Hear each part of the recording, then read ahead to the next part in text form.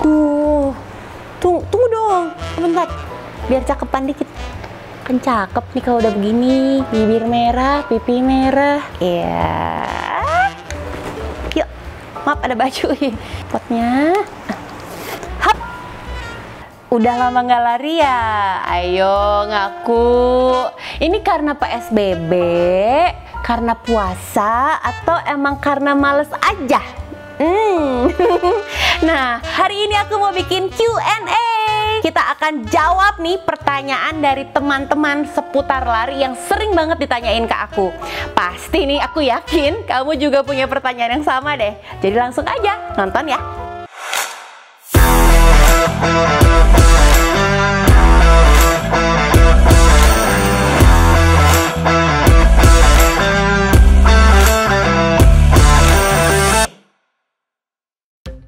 Oke, kita mulai dari pertanyaan yang pertama. Pertanyaannya datang dari Dwi Nur nih di Instagramnya aku. Pertanyaannya adalah, lari yang baik dalam sehari itu berapa kali dan berapa menit sih kak? Oke, mungkin banyak juga nih kamu yang masih bingung ya, lari itu sebaiknya frekuensinya bagaimana sih?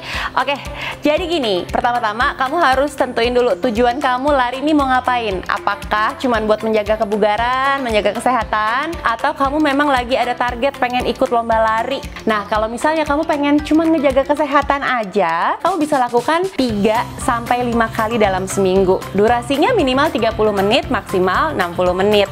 Nah, yang paling penting adalah yang harus diingat kalau tubuh kita membutuhkan paling tidak dua hari untuk recovery.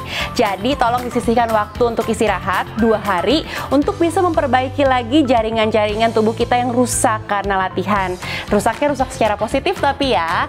Jadi, kita bisa terhindar dari cedera dan terhindar dari yang namanya overtraining. Pertanyaan kedua datangnya dari Pasha Erlangga. Dia nanya nih, untuk olahraga rutin yang terbaik itu jogging biasa atau lari sih? Oke, untuk olahraga rutin yang paling penting kamu harus tahu kapasitas tubuhnya kamu dulu nih. Kamu fitness levelnya ada di mana? Kalau memang kamu sudah terbiasa lari rutin, sudah lama, silahkan dijalani untuk bisa menjaga kesehatan kamu. Tapi kalau memang kamu baru mau memulai lari untuk bisa olahraga rutin, untuk sekedar menjaga kesehatan, kamu bisa memulainya dari jogging ringan dulu aja. Bahkan dari jalan kaki dulu juga nggak apa-apa. Lama-lama progresif menuju ke jogging, setelah itu baru lari deh. Next question, ini datangnya dari Ayu Taskia. Terus pertanyaannya sama juga sama Elianar. Pertanyaan gini, Hai Kamel, gimana caranya ngatasin lupa atur nafas saat lari biar jadinya nggak ngos-ngosan dan lebih kuat lari? Kalau kata Ayu Taskia, ini menggeh-menggehnya sampai kedengeran kenceng. Menggeh-menggeh itu apa sih? Ngap-ngapan gitu kali ya, ngos-ngosan. Oke, cara atur nafas, aku sebenarnya udah punya videonya. Kamu bisa lihat di situ aku udah jelasin panjang lebar. Tapi untuk menjawab pertanyaan kamu, sebenarnya gini, kalau untuk atur nafas, kita perlu melatihnya, teman-teman. Kita perlu melatihnya dan menjadikannya sebagai kebiasaan. Jadi itu kenapa pelari sering banget melakukan long run, melakukan latihan speed seperti interval dan tempo. Itu adalah untuk bisa membiasakan diri mengatur nafas dalam keadaan apa pun, dalam keadaan lari kencang, dalam keadaan lari pelan. Jadi kalau misalnya udah dilatih, sudah menjadi kebiasaan, saat kamu lari langsung di recall sama tubuhnya. Udah langsung tahu gimana caranya ngatur nafas. Nggak lupa lagi. Kesimpulannya harus dilatih dan dibiasakan ya. Berikutnya berikutnya pertanyaan dari Rido Bonos. Katanya gini gimana sih ngejaga fisik kita di saat adanya wabah COVID-19 ini? Khususnya buat naikin VO2 max. Saya tuh biasanya ya untuk naikin VO2 max harus interval training tempo. Nah kalau sekarang kan nggak bisa melakukan olahraga di luar ruangan. Oke gini Rido Bonos jadi di saat pandemi seperti sekarang ini, yang perlu kita lakukan adalah untuk maintenance. Unfortunately, kita nggak bisa nih sekarang ini untuk naikin performance, untuk nambah speed, untuk nambah endurance, karena memang kita sedang dalam keterbatasan ya. Kita nggak bisa keluar rumah, jadi maintain aja dulu yang udah ada saat ini dengan latihan strength training di rumah dan juga latihan kardio di rumah. Kalau nggak bisa lari, kamu bisa menggantinya dengan latihan kardio lain. Aku udah punya videonya juga kok. Kamu bisa ikutin jenis latihan seperti yang aku lakukan. Nanti saat pandemi ini sudah selesai, kondisi fisik kamu akan tetap sama nih, akan tetap terjaga karena kamu melakukan maintenance dengan baik di rumah. Nah, nanti begitu kita bisa lelarian lagi di luar, bisa dilatih pelan-pelan sehingga kamu nggak perlu mengulang dari nol lagi. Gitu jawabannya ya. Oke, pertanyaan berikutnya dari Rani. Rani nanya gini, bener nggak sih kalau lari pakai jaket parasut itu nggak baik? Karena ada sebagian pendapat yang bilang boleh dan sebagian bilang tidak. Terus ada dua pertanyaan nih, dia bilang gini, apakah kita kalau latihan entah itu low impact, strength training dan lain-lain, kalau nggak pakai sepatu bisa mengakibatkan telapak kaki kita nyeri? Oke, jadi yang pertama dulu ya, lari pakai jaket parasut. Oke, lari pakai jaket tidak dianjurkan karena justru akan membuat kita jadi dehidrasi. Cairan yang keluar berlebihan karena udah pasti rasanya lebih panas. Nah, apa yang terjadi ketika dehidrasi? Banyak hal negatif yang bisa menjadi impact. Nah, kadang-kadang kita jadi PHP tuh, jadi happy banget rasanya ketika abis lari pakai jaket terus ketimbangan dan ngelihat angka timbangan kita turun. Padahal angka timbangan kita turun karena cairan dalam tubuh kita yang keluar, yang berkurang. Nah, nanti kalau kita minum lagi ya angkanya akan balik lagi. Jadi gak usah pakai jaket ya saat lari. Nah terus pertanyaan yang kedua kalau kita latihan tidak menggunakan alas kaki ketika melakukan strength training low impact maupun high impact biasanya telapak kaki akan jadi nyeri. Ya Udah pasti karena adanya impact, adanya hentakan dari kaki kita ke permukaan. Jadi disarankan tetap harus menggunakan alas kaki ya. Oke pertanyaan berikutnya Nugroho Ajib Mau nanya kenapa sih pelari jarak jauh profesional kok badannya kurus-kurus nggak gempal berotot dibandingin atlet lain padahal sama-sama ngelakuin strength training. Oke kalau atlet lari jarak jauh itu biasanya melakukan strength training dengan beban badannya sendiri. Jadi latihannya sifatnya lebih ke functional training. Nah kalau atlet sprinter misalnya kayak Usain Bolt itu kan lebih berisi ya lebih berotot. Nah biasanya atlet-atlet yang menggunakan daya ledak itu menggunakan beban yang lebih berat untuk strength trainingnya ya. Jadi itu yang membedakan kenapa postur antara pelari jarak jauh seperti Kipchoge dengan Usain Bolt begitu berbeda. Karena performance-nya juga akan berbeda. Yang satu untuk endurance yang jarak jauh yang satu lagi untuk durasi pendek dan membutuhkan daya ledak. Berikutnya pertanyaan dari Impepol cedera saat lari kenapa masih bisa terjadi ya kak ya? Padahal sebelum lari udah pemanasan dulu. Nah aku pernah ngalamin itu tuh Kamel di pergelangan kaki. Oke, walaupun sudah melakukan pemanasan tapi masih bisa kena cedera. Kenapa? Sebenarnya faktornya banyak. Salah satunya adalah kamu mungkin kurang strength training, kurang latihan penguatan otot.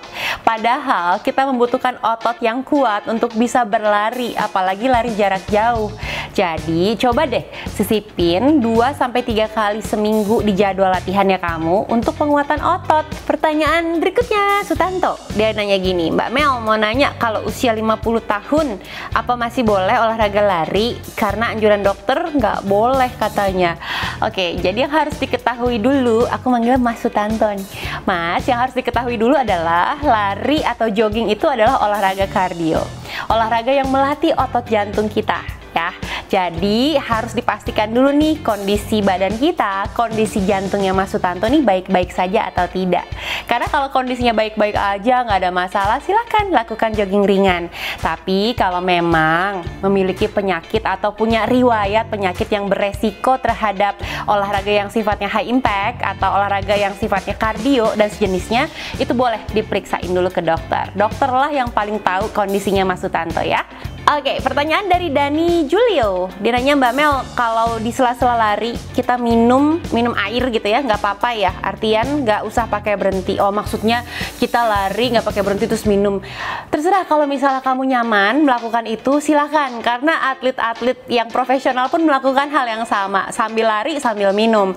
Tapi kalau misalnya kamu milih, ah aku sih lebih nyaman kalau pakai berhenti supaya nggak keselak misalnya ya, karena nggak ter, terbiasa minum sambil lari, boleh juga berhenti paling nggak 30 detik sampai 1 menit maksimal. Pastikan heart rate-nya kamu tuh nggak turun karena kalau heart rate-nya udah turun kelamaan istirahatnya untuk naikin lagi agak lebih berat dibandingkan dengan heart rate kita masih tetap sama di zona sebelumnya. Oke, pertanyaan berikutnya dari Ranting Liar. Uh, Ranting Liar. Dia nanya gini, Mbak Mel, saya mau tanya dua pertanyaan. Yang pertama, gimana caranya ngatasin kram perut ketika sedang melakukan long run? Yang kedua, gimana caranya mengatasi kebosanan ketika sedang melakukan latihan long run? Oke, yang pertama dulu, Ranting Liar. Caranya mengatasi kram perut atau yang biasa disebut dengan side stitch adalah, aku udah pernah bikin videonya nih ya, by the way, tapi aku kasih tahu lagi, caranya adalah ketika kamu lari, kamu pelanin pace kamu, pelanin lagi kecepatannya, lalu kamu tarik nafas dalam, menggunakan nafas perut, kamu angkat bagian yang sedang sakit itu, misalnya di sebelah kiri atau sebelah kanan biasanya ya. Diangkat sambil tarik nafas dalam, keluarkan. Diangkat lagi jadi tangannya menuju ke atas, keluarkan sambil tetap bergerak sambil tetap berlari dengan kecepatan yang lebih pelan. Nah, biasanya itu akan berangsur-angsur lebih baik ya. Tapi kamu jangan khawatir, side stitch ini terjadi sama hampir sebagian besar pelari, baik pelari amatir maupun profesional. Nah berikutnya pertanyaan kamu tadi, oh kalau bosen lagi long run mesti gimana? Hmm, ini sebenarnya metodenya beda-beda nih tiap orang nih untuk ngatasin rasa bosan. Kamu dan aku mungkin berbeda. Tapi mungkin sebagai ide aja, kamu bisa sambil lari coba deh dengerin musik misalnya atau dengerin podcast misalnya. Atau kalau aku nih biasanya ketika aku lagi lari, aku justru mikir kelihatannya aja nih aku lagi lari padahal di kepala aku tuh aku lagi mikir aku mikirin solusi dari masalahnya aku aku mikirin ide-ide barunya aku inovasi apa yang ingin aku lakukan di hidupnya aku. Jadi sifatnya udah kayak meditasi itu deep banget ya. Jadi aku bisa ngedapetin sesuatu yang istimewa dari hasil long runnya aku gitu. Dan sambil saat long run pun ketika aku berpikir aku jadi lupa sama rasa capekku. Aku jadi lupa sama rasa bosan tiba-tiba udah kelar aja long runnya. Itu yang biasanya aku lakukan. Tapi kamu mungkin bisa juga melakukan metode misalnya kamu long run 20 km daripada kamu ngitung iya satu kilo udah lewat. Yes 2 kilo 3 kilo. Hmm, itu bakal bosen banget. Coba deh dibagi menjadi 5 km 5 km jadi 5 km pertama kamu coba ditahan ya di pace 7 gitu dengan stabil. Oke, challenge berikutnya 5 km berikutnya. Uh, tahan di pace 6 bisa nggak stabil 5 km? Wah, oke, lanjut lagi kilometer 15 bisa nggak misalnya jadi 5.30 tahan stabil. Dikasih challenge seperti itu badannya dan pikirannya sehingga kamu jadi nggak ngerasa bosen dan kamu jadi bisa langsung tahu nih oke target gue kecapai apa enggak. Nah itu mungkin bisa menjadi distraction buat kamu. Jadi kamu nggak bosen lagi deh long runnya ya Oke, pertanyaan berikutnya dari Aga Januar. Mbak Mel dari HM, butuh latihan berapa bulan sih untuk bisa ikutan FM? Maksudnya supaya FM-nya lancar tanpa cedera. Oke, gini, aku tuh nggak tahu nih kondisi kamu saat menyelesaikan HM gimana. Apakah kamu finishnya dengan strong atau kamu struggling berjuang banget mencapai finish line saat HM? Nah, kalau misalnya kamu masih struggling saat menyelesaikan HM, mungkin kamu akan membutuhkan waktu lebih panjang lagi untuk bisa mempersiapkan sebuah full marathon. Tapi kalau kamu finishnya strong ketika HM nih ya, terus kamu coba beberapa kali HM, masih finish strong juga. Nah, itu bisa menjadi tanda buat kamu bahwa kamu siap nih untuk naik kelas ke full marathon. Tapi sekali lagi, untuk bisa berlari di full marathon, kamu perlu konsistensi dan disiplin yang tinggi. Dan kamu juga perlu melakukan latihan longest run kamu paling tidak 30 sampai 34 km ya. Jadi kalau misalnya kamu udah bisa melakukan latihan antara 30 sampai 34 km dan kamu baik-baik saja ketika melakukannya di atas kertas, artinya kamu sudah siap untuk berlari di full marathon. Oke, pertanyaan berikutnya dari Firman Hadi, Kak Melani Putri ya. Bener nggak sih lari itu bisa buat kurus? Bisa, asal kalori yang masuk itu lebih sedikit dibandingkan dengan kalori yang keluar. Bingung nggak? Nah, kalau bingung, kamu lihat video aku aja ya. Aku udah bikin videonya mengenai hal ini. Langsung dicek aja. Oke, ini pertanyaan terakhir ya. Sebenarnya pertanyaan yang masuk banyak banget. Aku harus pilih. Nih dari Budianto nih. Dia nanya, Kamel, aku mau nanya, bagaimana bisa seorang putri Indonesia yang biasa anggun, pendiam, serta selalu memperhatikan penampilan yang elegan bisa berubah menjadi seorang pelari yang bisa dibilang kebalikannya bahkan 180 derajat. Apa yang memilih Kak Mel ingin menjadi seorang pelari, bahkan bisa FM sub 4 loh, di luar dugaan bagi seorang putri Indonesia. Budianto, oke, lari itu boleh untuk siapa aja, ya kan? Untuk perempuan, laki-laki, tua, muda, jomblo, siapa pun juga boleh ikutan lari. Nah, justru dari berlarilah aku mendapatkan banyak banget hal positif mulai dari fisik udah pasti jadi lebih sehat, jadi lebih energik, fitness levelnya tinggi terus, nggak gampang capek. Terus kalau dari segi mental, ini dia juaranya. Dari lari, aku bisa nih ya membentuk mentalku menjadi lebih baik, jadi lebih disiplin, pantang menyerah. Terus aku selalu menyelesaikan apa yang sudah aku mulai.